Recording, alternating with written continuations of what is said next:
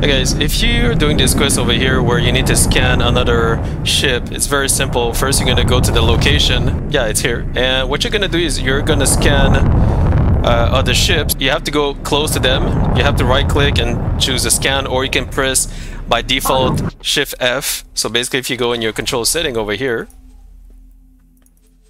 scan object so you can click like that. So you need to get close and click shift F or you can right click and you know scan the ship with the option that it will give you. So right now so look uh, oh there's one here. This guy here. Autopilot. Engaged. there we go let's go to this guy. Okay